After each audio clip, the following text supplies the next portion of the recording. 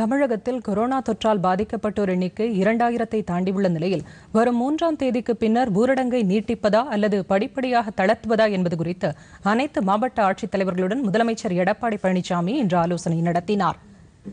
தலைமைச் செயலகத்தில் காணொலி காட்சி மூலம் நடைபெற்ற இந்த ஆலோசனைக் கூட்டத்தில் அமைச்சர்கள் மற்றும் தலைமைச் செயலாளர் உள்ளிட்ட அதிகாரிகள் கலந்து கொண்டனர். இந்த ஆலோசனையின் போது பேசிய முதலமைச்சர் எடப்பாடி பழனிசாமி மாவட்ட ஆட்சியர்கள் கொரோனா நோய் தடுப்பு நடவடிக்கையில் தீவிரம் காட்டி வந்தாலும் இன்னும் அதிக கவனம் செலுத்தி இந்த நோய் தொற்றை முழுமையாக தடுக்க வேண்டும் என்று கேட்டுக்கொண்டார் மாவட்டங்களில் உள்ள மருத்துவமனைகளில் போதிய உபகரணங்கள் இருக்கிறதா என்பதை கண்காணிக்க வேண்டும் என்றும் மாவட்ட எல்லைகளில் தீவிர கண்காணிப்பு பணி அவசியம் என்றும் அவர் குறிப்பிட்டார். பிற மாநிலங்களிலிருந்து வருபவர்கள் முறையான அனுமதிச்சீட்டு பெற்றிருந்தால் மட்டுமே அவர்களை பரிசோதித்து அனுப்ப வேண்டும் என்று அவர் கேட்டுக்கொண்டார் உணவகங்கள் மற்றும் பேக்கரி நிறுவனங்கள் பார்சல் மட்டுமே அனுமதிக்க வேண்டும். காய்கறி மற்றும் அத்தியாவசிய பொருட்கள் மக்களுக்கு தடையின்றி கிடைக்க ஏற்பாடு செய்ய வேண்டும் என்றும் முதலமைச்சர் வலியுறுத்தினார். தற்போது மாநிலத்தில் சிவப்பு ஆரஞ்சு பச்சை என்ற மூன்று பகுதிகளாக பிரிக்கப்பட்டு பச்சை அடையாளம் கொண்ட நோய் தொற்று இல்லாத மாவட்டங்களில் படிப்படியாக தொழில் தொடங்குவதற்கு அரசின் உத்தரவு கிடைத்ததும் அதற்கு உரிய அனுமதி வழங்கலாம் என்றும் மாவட்ட ஆட்சித்தலைவர்களுக்கு முதலமைச்சர் உத்தரவிட்டார்.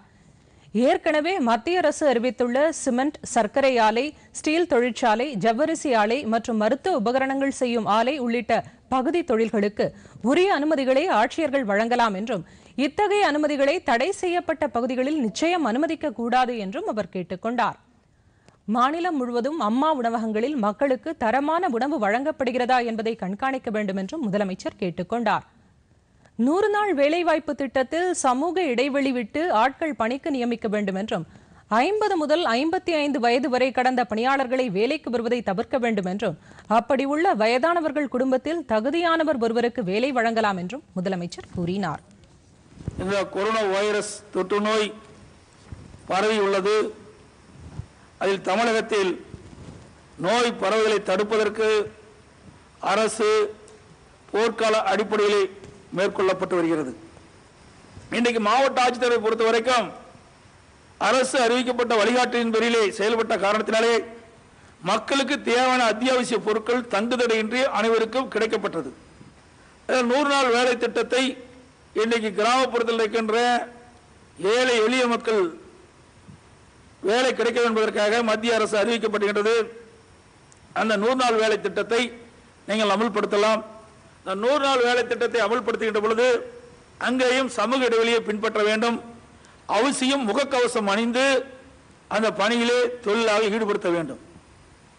நூறு நாள் வேலை திட்டத்திலே பணிபுரிந்துகின்றவர்கள் ஐம்பது வயதுக்கு ஐம்பத்தஞ்சு வயசுக்கு மேல் இருந்தால் அவர்களை தவிர்த்து கொள்ள வேண்டும்.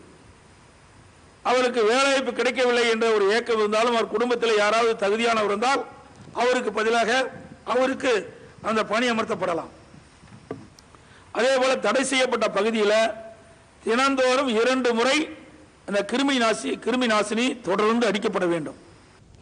பொதிகை செய்திகளை யூடியூபில் தமிழ் நியூஸ் தூர்தர்ஷன் என்ற சேனலிலும் ட்விட்டரில் Tamil news Doordarshan DD news Chennai என்ற பக்கத்திலும் காணலாம்.